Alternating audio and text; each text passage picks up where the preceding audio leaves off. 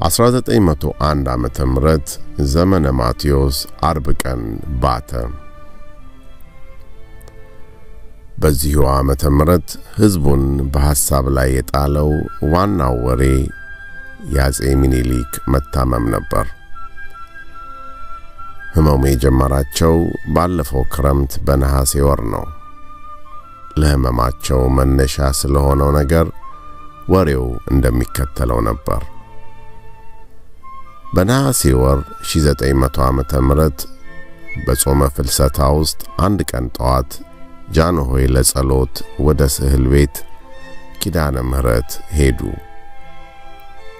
ቀኑ ዝናምና ውሽንፍር የበዛበት ቀን ነበረ። ጸሎት ካደረጉ በኋላ ወደ ቤተ መንግሥታቸው ተመለሱ። እንቁላል ግንብ በሚባለው ሰገነትና በልፍኛቸው መካከል ያለው የወለሉ ሜዳ ጥርብ ድንጋይ የተነጠፈበት ነው። ጃንሆይ ወትሮም ቢሆን መንገድ ሲሄዱ ፈጠን ፈጠን እያሉ ነውና ከልፍኛቸው አጠገብ ለመድረስ ጥቂት ሲቀራቸው የዝናብ ውሃ የሸፈነው የወለሉ ጥርብ ድንጋይ አዳልጧቸው በድንገት ወደቁ። የተከተሏቸውም ሰዎች ደጋግፈው ከልፍኝ አስገቧቸው። ከዚህ ቀን ጀምረው ታመው ከልፍኝ መዋል ጀመሩ። በመጀመሪያው ጊዜ ስለ ሕመማቸው ለሕዝብ የተወራውም እግራቸውን ታመዋል እየተባለ ነበረ። በኋላ ግን ይህ ያደረባቸው ሕመም አካላቸውን ሁሉ እንደ በድን አደረገው።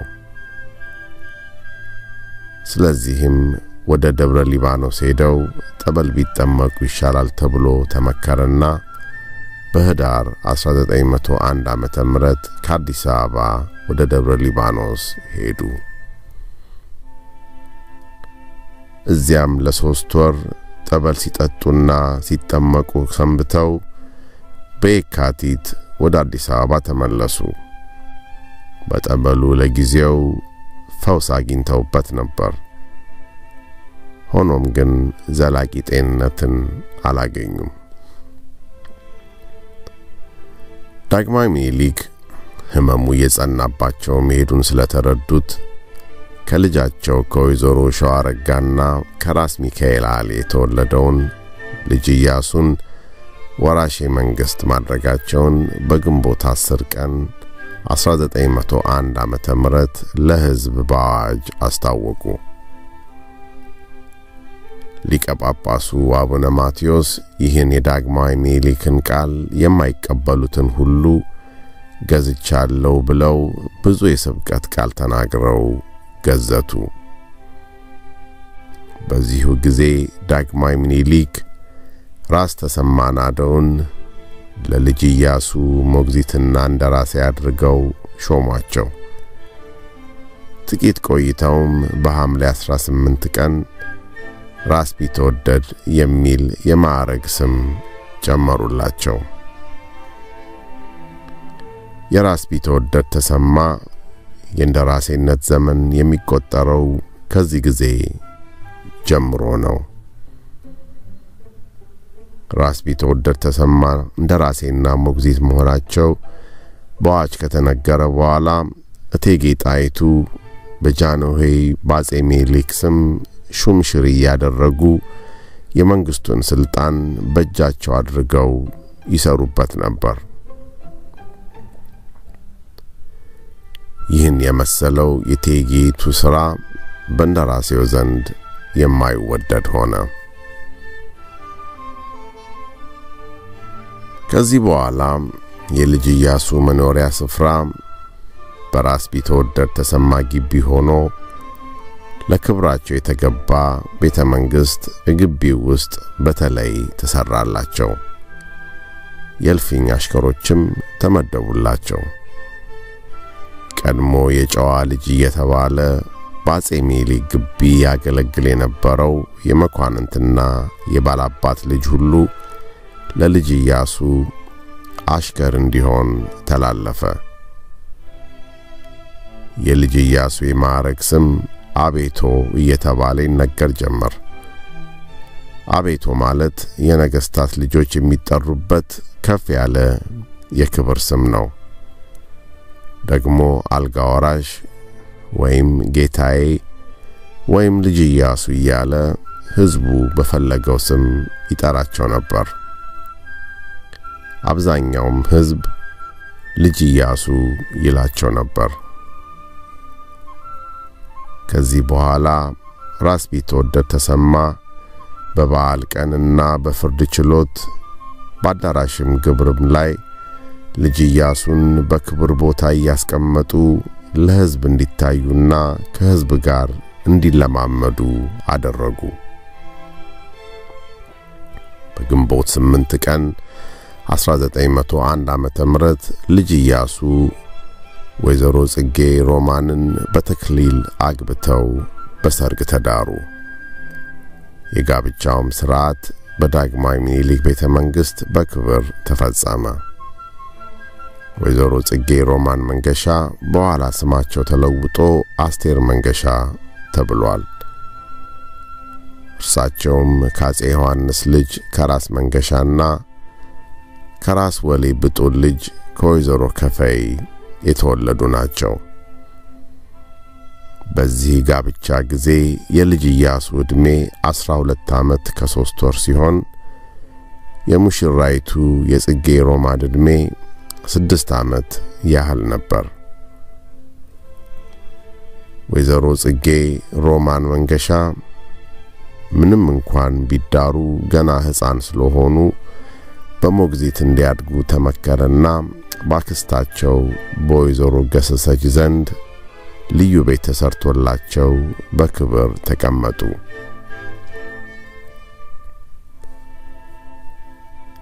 ዳግማዊ አፄ ምኒልክ ሕመሙ እየጸናባቸው ስለሄደ አንደበታቸው ተያዘ፣ ሰውነታቸውም እንደ ሽባ ሆነ።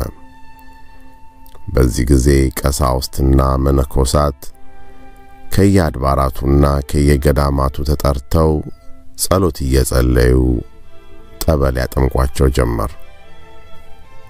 ነገር ግን አልተሻላቸውም። ከዚህ በኋላ አንድ የፈረንሳይ ሐኪም ዶክተር ቪታሊየን የሚባል አከማቸው።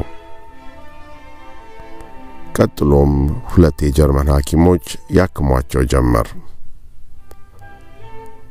በመጨረሻም በእንግሊዝ ሌጋሲዮን የእንግሊዝ መንግሥት ሐኪም የነበሩት ዶክተር ማርቲን አከሟቸው። እርሳቸውም በተጨማሪ ሐኪም ወርቅነህ ተብለው የሚጠሩት የኢትዮጵያ ተወላጅ ናቸው። ሐኪም ወርቅነህ ማን ነበሩ? ሐኪም ወርቅነህ በ1858 ዓመተ ምህረት ጥቅምት 11 ቀን በጎንደር ከተማ ተወለዱ። አባታቸው ነጋድራስ እሸቴ፣ እናታቸው ወይዘሮ ደስታ ወልደ ማርያም ይባላሉ። የክርስትና ስማቸው ኪዳነ ማርያም ሲሆን እናትና አባታቸው ወርቅነህ ብለው የዓለም ስም አወጡላቸው። አጼ ቴዎድሮስ በ1860 ዓመተ ምህረት አእምሯቸው በቁጣ በተበላሸ ጊዜ የጎንደርን ካህናትና ታላላቅ ሰዎች እያሰሩ በግዞተኝነት ወደ መቅደላ መላክ ጀመሩ።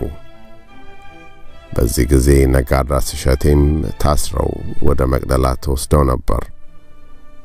ሚስታቸውም ወይዘሮ ደስታ አንድ ልጃቸውን ወርቅነህን ይዘው ወደ ባላቸው መቅደላ ሄደው አብረው ተቀመጡ። በ1860 ዓመተ ምህረት በሚያዝያ ወር እንግሊዞች አጼ ቴዎድሮስን ወግተው መቅደላን ሲይዙ ወርቅነህ እሸቴ ዕድሜያቸው ሁለት ዓመት ከመንፈቅ ሆኖ የምትጠብቃቸው የእናታቸው ታናሽ እህት ነበረች። እንግሊዞች በመቅደላ ኮረብታ ሲገቡ ሽብር ሆነና ሁሉም ራሱን ለማዳን ሽሽት ሆነ። በዚህ ጊዜ ወርቅነህ እሸቴ ብቻቸውን በአንድ ቤት ውስጥ ቀሩ። የእንግሊዝ ወታደሮች ባገኟቸው ጊዜ አዝነው ወደ ጦሩ አለቃ ወስደው አስረከቧቸው። የአጼ ቴዎድሮስንም ልጅ አለማየሁን እንደዚሁ አግኝተውት በሕፃንነቱ አዝነው ደግሞም የንጉሥ ልጅ መሆኑን አውቀው ወደ ጦር አለቃው ወሰዱትና ከወርቅነህ ጋር አብረው አስቀመጧቸው።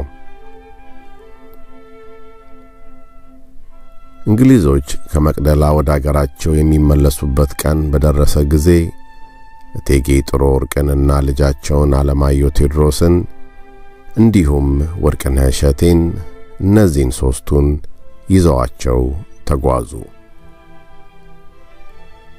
እቴጌይቱ ገና ከጠረፍ ሳይደርሱ ታመው ሞቱ። አለማየሁና ወርቅነህ ግን ከጠረፍ በደህና ደረሱ። ጀነራል ሮበርት ናፒር ምጽዋ ሲደርስ ወደ እንግሊዝ አገር ስለተጠራ አለማየሁን ይዞ በመርከብ ሄደ።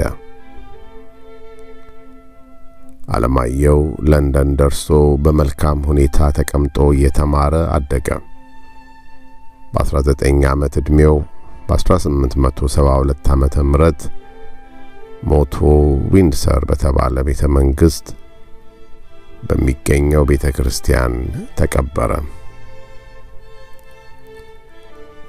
ወርቅነህ እሸቴን ግን ኮሎኔል ቻምበርሊን የተባለ ሰው ተረከባቸው። ከዚያም ኮሎኔል ቻርልስ ማርቲን ለተባለ ሌላ ሰው አስተላለፋቸው።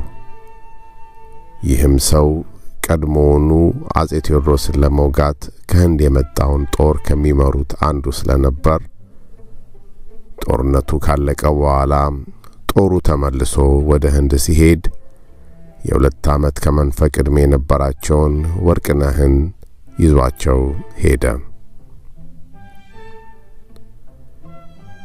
ወርቅነህ እሸቴ በመጀመሪያ ሮል ፔንዲና አርምስታር ወደ ተባለ የሚስዮን ትምህርት ቤቶች ተላኩ። ከዚያም ላሆር ወደ ተባለው የሕክምና ኮሌጅ በ1869 ዓመተ ምህረት ገቡ። በ1874 ዓመተ ምህረት ከኮሌጁ ተመረቁና ለሚቀጥሉት ሁለት ዓመታት እስከ 1876 ዓመተ ምህረት ድረስ ረዳት ሰርጀን ሆነው አገለገሉ።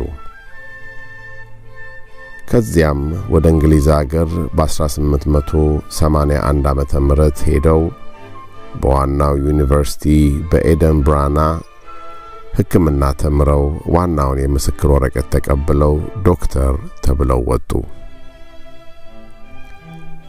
ከዚያም ወደ ህንድ አገር ተመልሰው በሲቪል ሥራ በበርማ አገር በክብር ይቀመጡ ጀመር።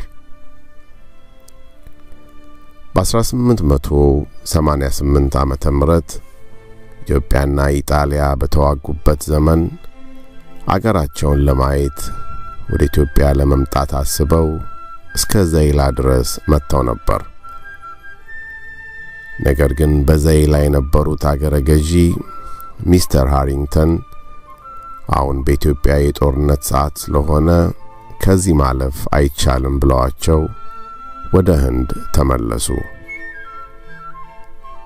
ከአድዋ ድል በኋላ የኢትዮጵያ ነጻነት በአውሮፓ ነገሥታት ሁሉ ተረጋግጦ ከታወቀ በኋላ ሚስተር ሃሪንግተን በአዲስ አበባ የእንግሊዝ መንግሥት ሚኒስቴር ሆነው ተሾሙ።